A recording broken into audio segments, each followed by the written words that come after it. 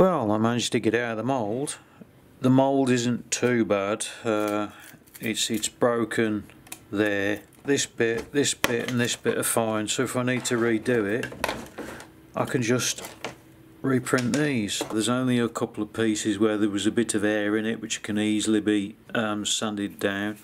I mean, the the strength of this is it's absolutely solid. Uh, the pattern hasn't come out perfect as I expected, but I'm not really too bothered about it. The original one, I'm going to take that off.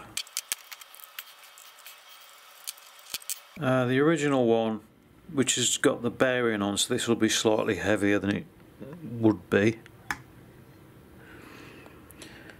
249.4 grams.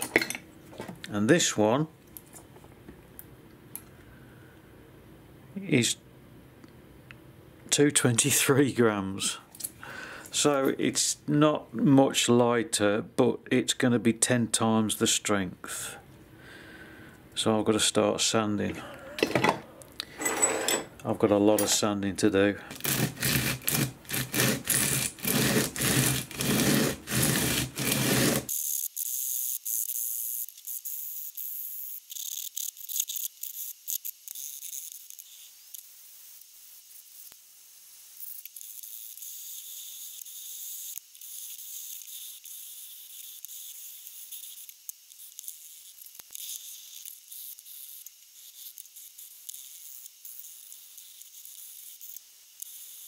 Someone asked me if I could put a clock in the background, like there, or there, or there. It doesn't matter, but anyway, so as you can see how long it takes me to do something. Now, the first thing is, if you need to ask, you haven't got the time. and the other thing is, because I have to keep stopping, to have a clock there would be, it'd just be bloody pointless.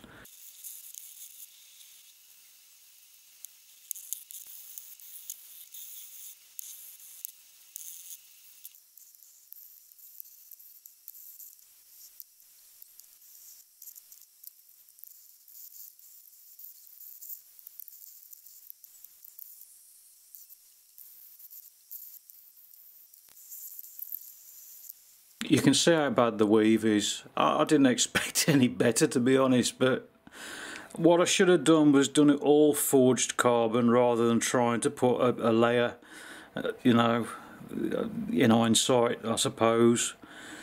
There's a couple of bubble holes which are directly opposite that one, which I, I expected these anyway. A bit of a sag in there, but I mean overall it's completely solid. So I've given it a coat of XCR epoxy and I'm now going to sand it down and flat it all off and then I can possibly lay it that way to fill all these holes in. Uh, that side doesn't look too bad actually. In fact I'm quite I'm very pleased how it's come out to be honest.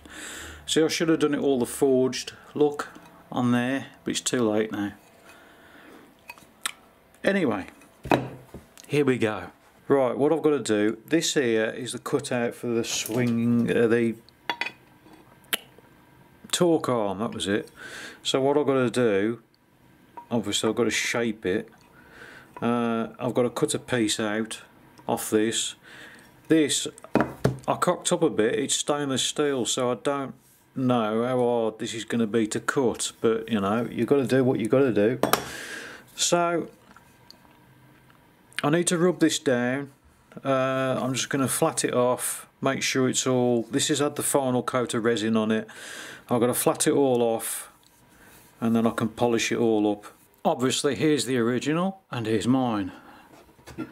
That has got cutouts in the back as you can see. Uh, mine hasn't. It's completely solid. This isn't perfect. I've only, uh, I suppose, quickly rubbed it down and polished it. If I decide to keep it then yes I will do it properly. Now the weight, the original one, 250 grams. Mine, 237 grams and I've still got to cut the holes uh, which I'm actually dreading because they're rather critical the positioning and I've got nothing Things came to a bit of a grinding halt. Well, a big grinding halt. Uh, I got no way of clamping things together because my voice is that. Uh, that only comes out, what, three inches? three inches is no use to anybody, as every, every bloke knows. This is for this. That should be the same size as that, or near enough. That's heavy. I'm going to make this out of chopped tow, carbon fibre. I'm going to reinforce it with uh, diagonal layers, horizontal, vertical layers, that sort of thing. The same as I did with the other one, uh, with the swinging arm.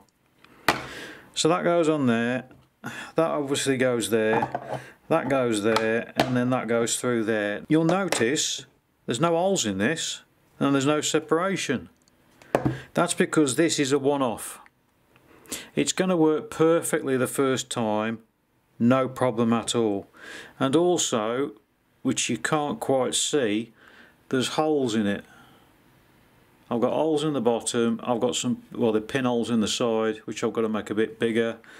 Um, there's none in the piston, and there's none in here. It's literally on that bit, so as I can squeeze and hopefully all the resin, any excess resin will start coming out the sides. That's the theory behind it, whether it will work or not I don't know. And also I'm experimenting with an imprint. Although I doubt it very much if it's going to come out. Oh yes, sorry. What I was waiting for was these. So hopefully this will work. I really do hope it does work. Anyway, here we go.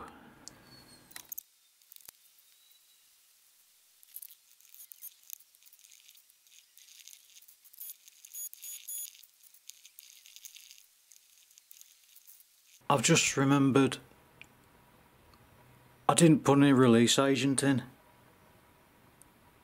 Oh, this is going to be an exercise in what happens if you don't put any release agent in. I know this was going to be a sacrificial part, but I hope and pray that the mould is, the, the cast itself isn't going to be sacrificial.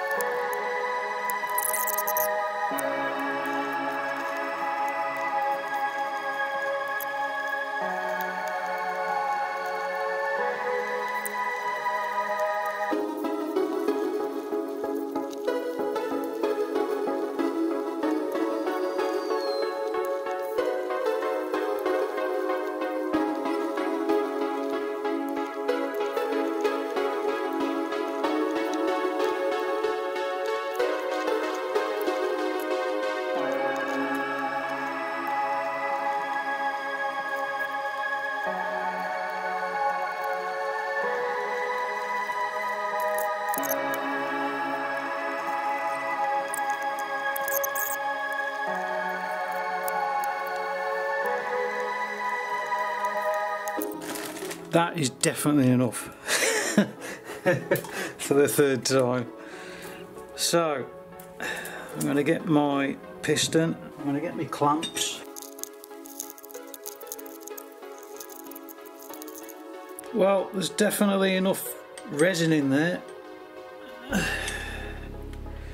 But that's possibly going to leave me with a big bloody problem. I've never asked people to do this before, but Bearing in mind that I put no release agent on there and bearing in mind that it's a very big mould, I want you to uh, comment down below and tell me if you think this is going to come out. And I need to change the orientation of this, don't I? So as